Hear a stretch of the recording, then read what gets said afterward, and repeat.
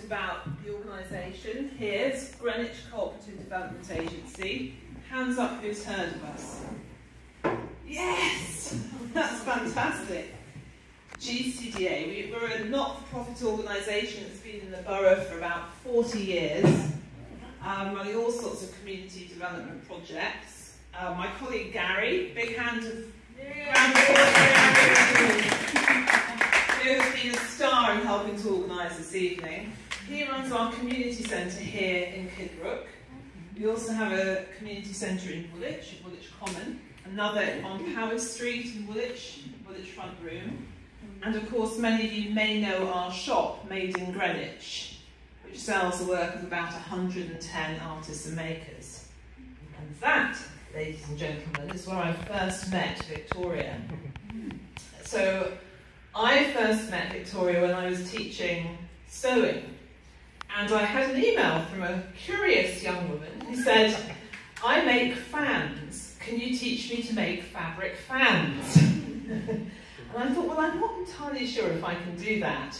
Um, but I'd love to meet you anyway. And so Victoria came along to my beginner's sewing class. And um, that's when I was first struck by Victoria's talents roll the clock forward a couple of years and um, GCDA received some funding from Greenwich Borough Council to run a Black History 365 artist project.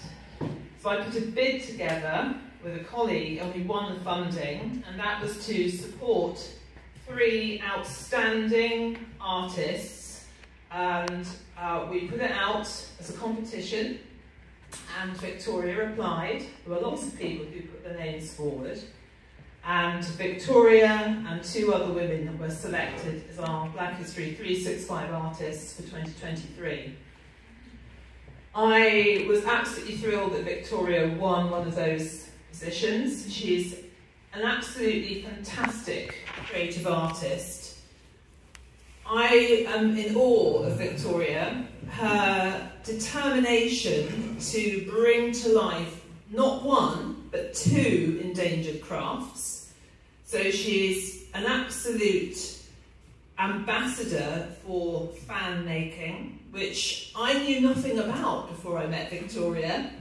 And I've learned a huge amount about this incredibly interesting craft, its history, and I love the way that Victoria is taking it into a new modern era. Mm. And then she's coupled that for our artist residency program with marbling, which I had also known very little about. So Victoria, first of all, welcome and congratulations. I ask you first of all, what made you think about fans? Why did you go for fan making?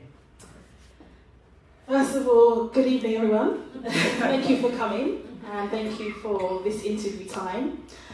Um, I think it stems back for my love for travelling. So after I had finished my masters, um, I sort of saved up some money and with my siblings, friends, I travelled across France with family members, um, Italy, Malta, Spain, Portugal, and I would always think of how can I sort of use up my uh, euros. and so I would always get a fan um, as a souvenir. So I've actually got a small collection of lace fans, tortoiseshell fans, and I just loved it. And when I travelled to south of Spain, I saw flamenco dancing and ladies dancing with fans. And I fell in love with fans, its culture, and I just, there's something, the beauty of it, the practicality of it. And I had studied musical theatre a few years before, and I was introduced to props on stage. And of course, fans, you know, is a, is a prop that's used. Period dramas, burlesque, on the theatre because I, I love, I'm trained in musical theatre as well.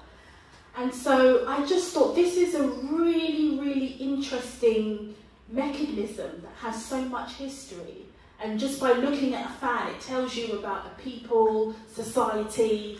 So I've always appreciated its beauty as well. I love, people who know me very well know I love accessories, hats, scarves, and fans fall under that as well. So there's several reasons, but I think travelling and seeing fans abroad was what started me off by collecting them and being interested. And what about the business side of it? Because being an artist is one thing, and having met your sisters here this evening, I can see that you're all a very talented trio of women, and your mother Mercy, who's done the beautiful thing this evening, obviously come from fantastic, fantastic heritage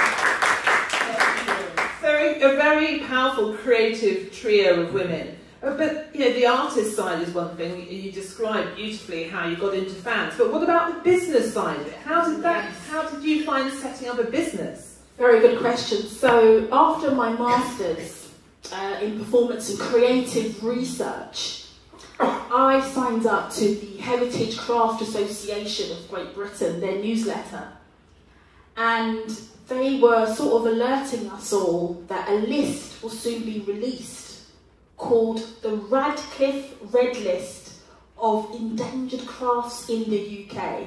Wow. And they said, look out for this list. And I thought, oh, this is going to be very in- an interesting read. and so when I looked at the list, I saw fan making it's, it, at that time, and still to this day, it's a very long list, all types of crafts. And something in me said, that's for you to do something about. Mm-hmm. You know, you're delegated, that's your job, that's your task to do something business wise about. Because the seriousness of this all is that there is not really an endangered crafts list in any other country apart from the UK. And we have talent here we have a very rich history that we should be proud of. Absolutely. And I thought going down a business route of it and teaching the craft, getting it to people of all ages, abilities, backgrounds, walks of life, and to make it something, to break that taboo that it's just for women, for instance. And having a business, you can actually do that. Set up workshops and really, as you say, take the craft into new communities, people that never really saw, oh, I can do fan making as a hobby, as a workshop. So to have it as a business makes it available to have people come and try the craft and make it fun, therapeutic. So it was very important to me that because the craft is endangered on that list, start a business there needs to be a business behind whatever I'm about to do with this. Absolutely, yes. And and I love you, you talk with such passion about it. It's almost like a calling of some sort. That actually this is a vehicle for you. Fan making, your creativity is a vehicle for you to reach out into the community and actually touch the lives of many people in different ways. Would you say that's a part of it? Absolutely. 100% because the journey's been incredible. Um, I have taught fan making to people in care homes, residential homes, and they have really, when I've met them again, because I do like to go back and visit, it's like an outreach thing I, I do.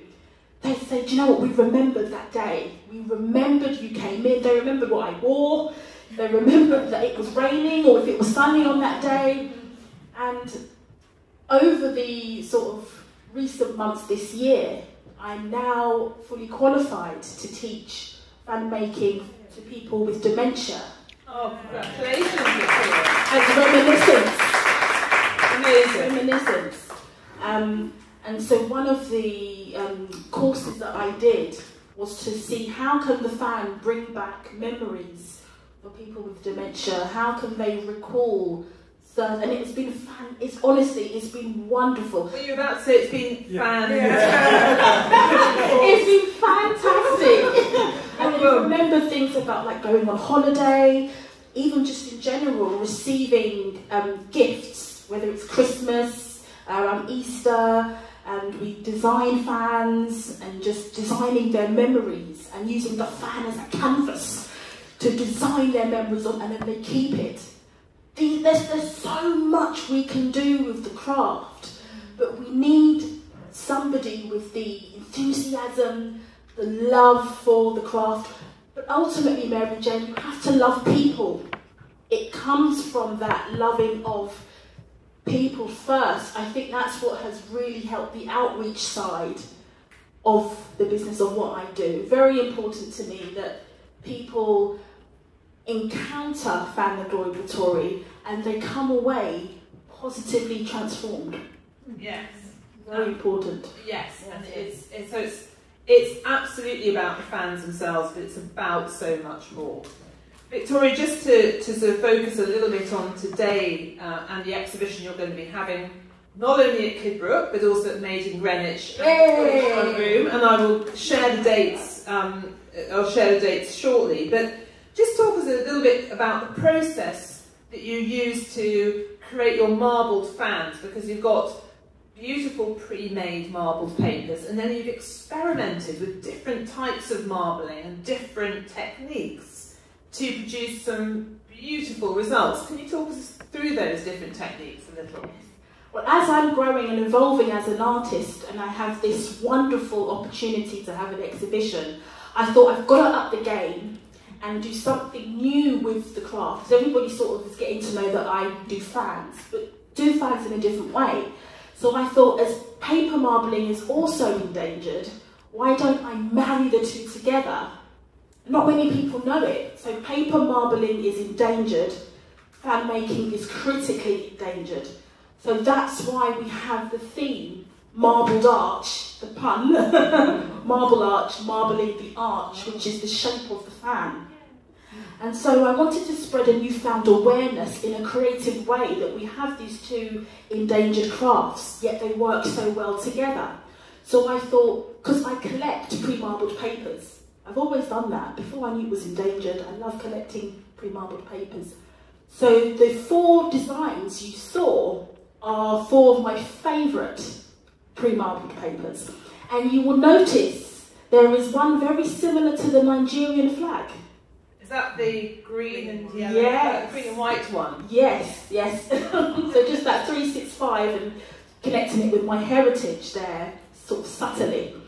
Um, so you see four of my favourite pre-marbled papers on traditional sticks. These are sticks that have, these are fans rather, that have many sticks.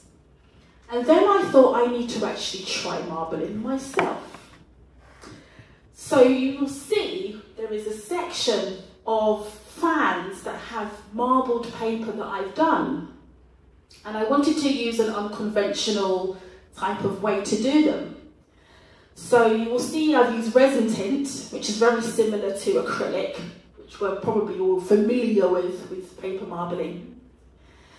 Then, as I love nail varnish, and it's just wonderfully there, I couldn't help but use nail varnish. So I tried it with acetone, and it just looked so good on the water.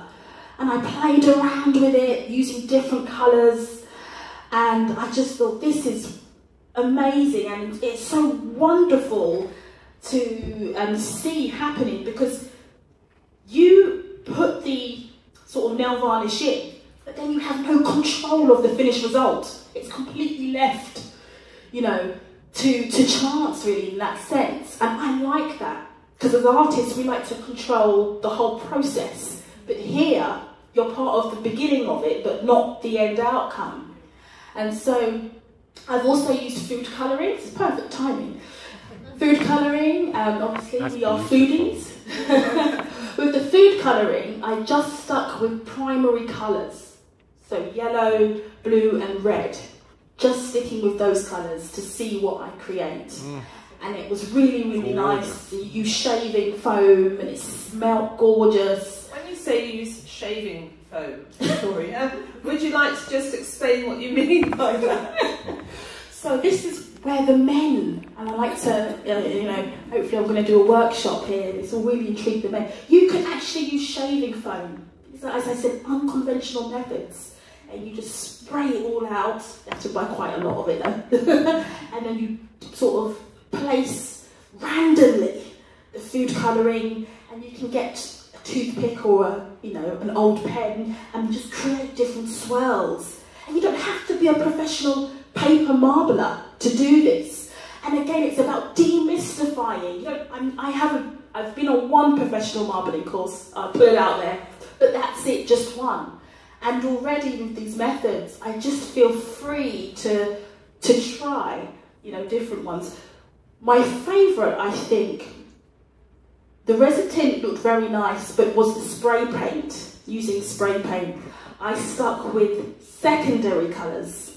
Who knows the secondary colours? Shout them out. Green. Yes. Orange. Purple, yes. And orange. Ha. So I thought, let me categorise the spray paint section with prime, secondary, sorry, colours. And it just, it came out, you know, the army, sort of, the army Camouflage. camouflage. That was how it came out, and I loved it. And it resonates with men because I've had the opportunity to see people walk around and I ask them which ones, and a lot of the men. I think it's stunning. The resin tint Which is nice. also a bit, a bit like peacock feathers as well. The eyes and the peacock feather. And just to note, I have incorporated traditional marbling methods um, in terms of, with some of them, so I've used a stone where you just literally flick the, the substance on the water, but there's other methods you can use as well. But one of my favourites and easiest was just the stone, the stone one. Absolutely stunning results. get gal, there's all different types of and, and everybody will be having a go in your workshops, which I'm, I'm afraid for you, they're almost sold out, so we don't have any places left. so popular are Victoria's workshops. It's fascinating, Victoria, absolutely incredible to see the journey you've come on. I just wondered if anybody had any questions for Victoria whilst she's here. Yes. We were talking earlier about the shapes of fans. Maybe we should have somebody give the lady I'll just speak up. So we were we were talking earlier about the shapes of fans, and you've got the unusual, innovative shape, and we wondered whether it's possible to make a square fan. You know, because we're thinking about it's, hmm. the physics will be complicated. Very good question. But could you? Yes. Thank you. Very good question. I've seen um, a squared shape-ish fan. I've seen it. It can be, everything is possible, absolutely so. Um, I might have to have a try of it. What you will see is with the marbled papers that I've done, I've used the modern design. But I haven't yet thought about actually changing the shape so it's not that typical moon um, sort of arch traditional shape, but changing. I haven't thought of that. That might be the next step. And this is why it's so good to, Geometric fan making. yes. I love it. This is so good to have this conversation with you because you guys have ideas that I haven't thought about. Yeah. Thank you very much. Really Thank you. interesting. Anybody else got a question, Vic- Victoria? We've got uh, two more questions. Um, so, what are some of the major differences in types of fans, not only from country to country, but continent to continent and different centuries as well? Oh, that's a big question. Well, we PhD in fan making, please, Victoria. There's a saying that fans are as old as hot weather. We can't actually date back the very, very first fan that was ever made.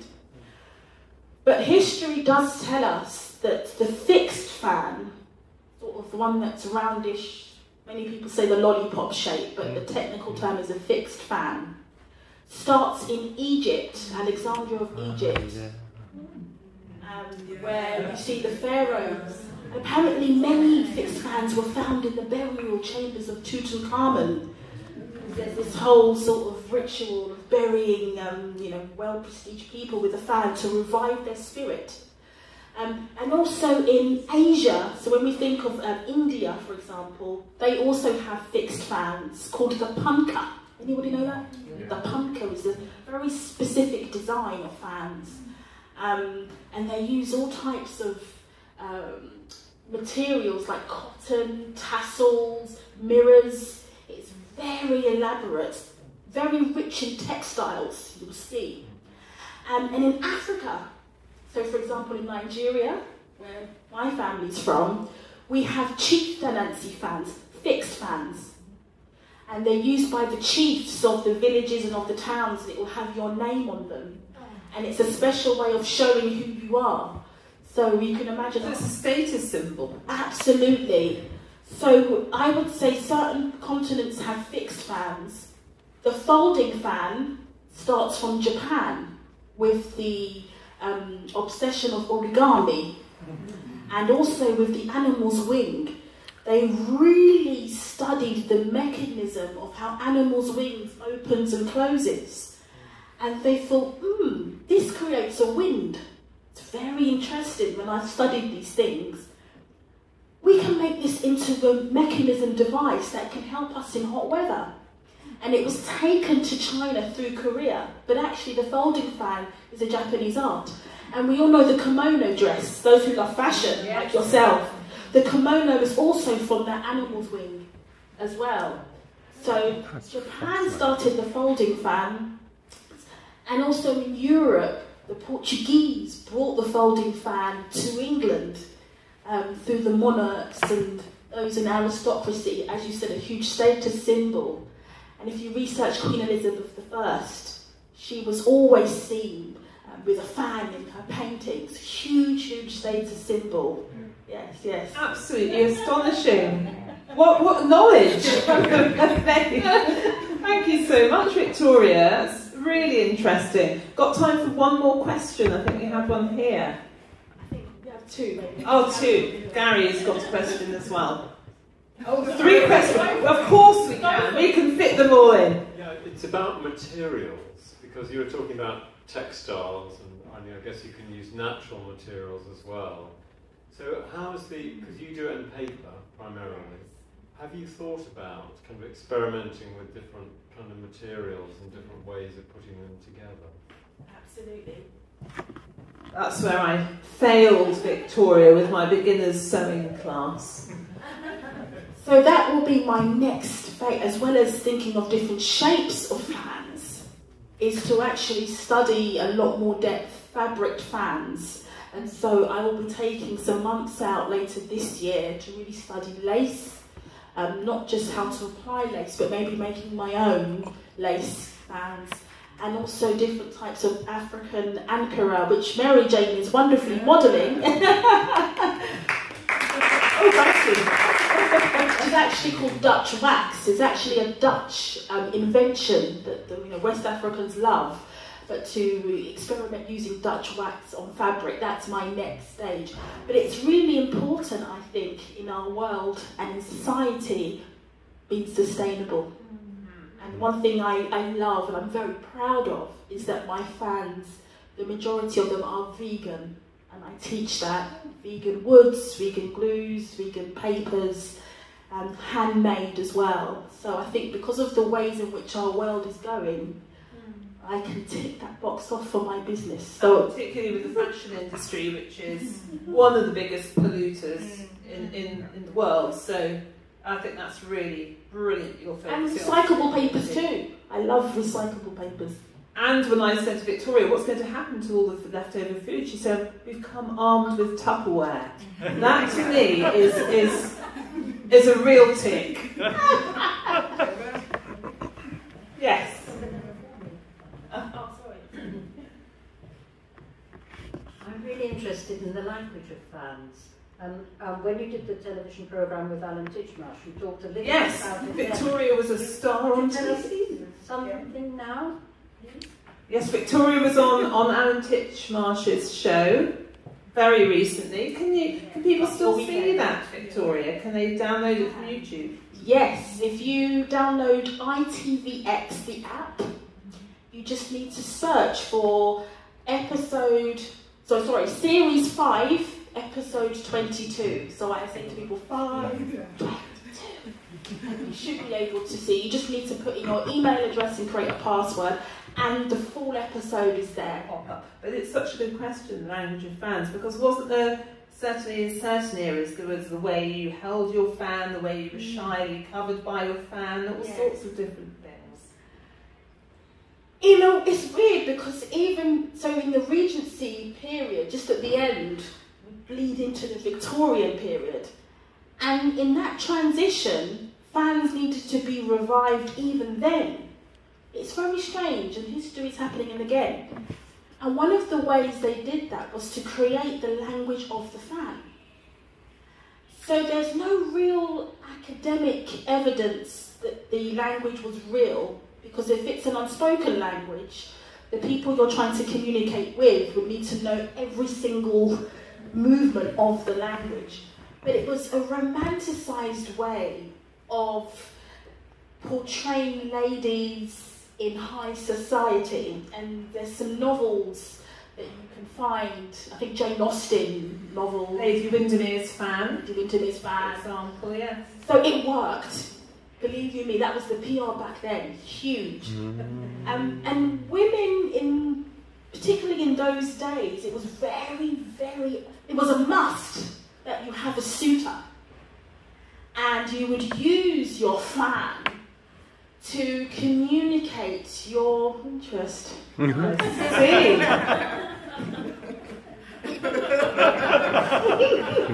that sort of. And it was a great icebreaker also to introduce yourself. And there's, I think on the right cheek is yes, the left cheek is no. And then, you know, we shall be friends, you know, let's have a little word, you know. And there's this wonderful, I think it's called something like the alphabet fan, where the lady on the leaf would have the alphabet and sort of 1 to 100 on the fan. And then you would use your finger and point out, so I love you. on Oh. And the Or more I don't love you. Yes. but many ladies said, you know, let's meet someone, and you would point on the fan to the number. This thing is so interesting.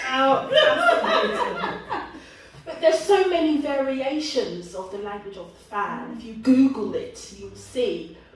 But the language of the fan that I prefer to go by is by Duvelleroy, a French fan making company who um, created the scroll of the language of the fan. And when you would purchase a fan from them, you would receive the scroll to master and try out your new language of the fan.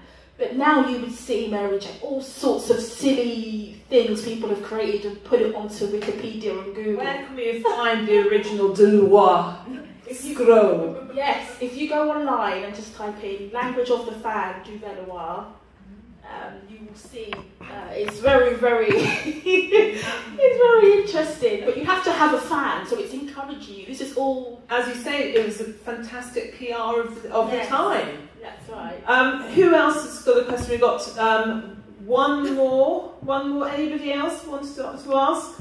So, Gary, would you like? Was it? Is So- it My, go, go ahead. my original question was going to be about the material fan and did Mary Jane actually teach you how to do a material fan?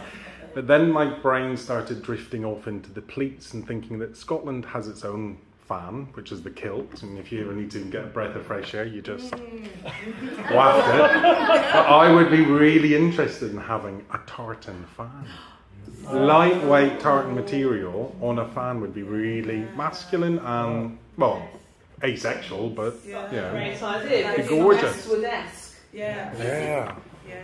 This is what I love because on the fan I have this saying: all things are possible. You know, we're finding the way to freedom, releasing it to new ways. This is it. And of course, again, yes, you said the pleats of the fan. I was at Folk by the Oak last year, and we actually did tartan design fans. So it's actually been done. We did tartan design. Gary was there. He did, he did make one last year. So it's incredible, but this is it. It's that same energy, that same idea, that way of thinking. We feel the same way. And you can put anything on the ca- I just see it as like a painting, just like you say. Anything can go on the canvas. I love your slogan, fanning the way to freedom. Victoria, it's been an absolute joy speaking to you this evening. I, I feel like I've had a world tour, whirlwind tour of fan making, not only throughout centuries but around the world. It's been really interesting talking to you. Um, for those of you who don't live in Kidbrooke, uh, you can see Victoria's work at Made in Greenwich. And she'll be on there from Wednesday, the 11th of October, until Wednesday, the 1st of November. Um, Woolwich Front Room, our project on Powis Street, she'll be exhibiting from the 24th of August to the 12th of September, and here at Kidbrooke until the 9th of August. Um, it's been a wonderful evening, Victoria. Congratulations again. Let's give her a round of applause.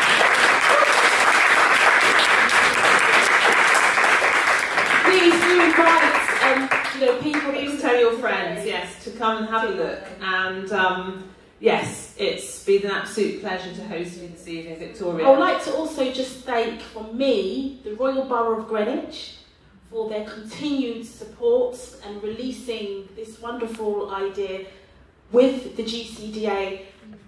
The GC, the Greenwich Cooperative Development Agency, mean business. They mean what they say. They are an incredible team of people in front of the screens, behind the screens, mm. really for the community, not just artists, but for all people of the community. And they are such a wonderful asset to the Borough of Greenwich. Thank, Thank you, you. so much for all your help and your encouragement. Thank you, thank you. Thank you, thank you. And I would also like to thank my family because they have really been with me through thick and thin, behind the scenes. They are advocates of Greenwich. They love the borough so much. And I would also like to thank all of you for coming today. All of you, you're all wonderful and you're all part of my journey. And we're all connected by Greenwich. We've all had a connection to Greenwich. so thank you very much. Absolute pleasure, Victoria. Thank you.